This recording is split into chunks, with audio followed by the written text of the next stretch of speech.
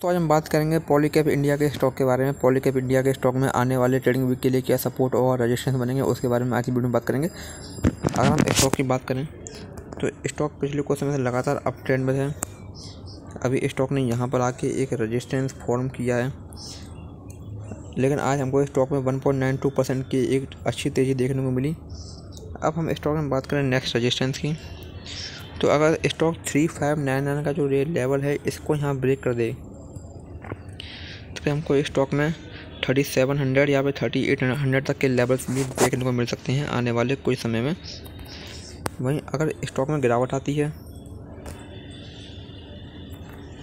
तो three four one three का जो लेवल है, ये इसमें सपोर्टा काम करेगा।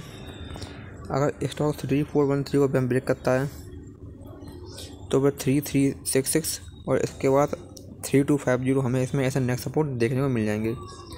तो ये स्टॉक में कुछ important support and resistance level हैं, आप इन पर ध्यान दे सकते हैं।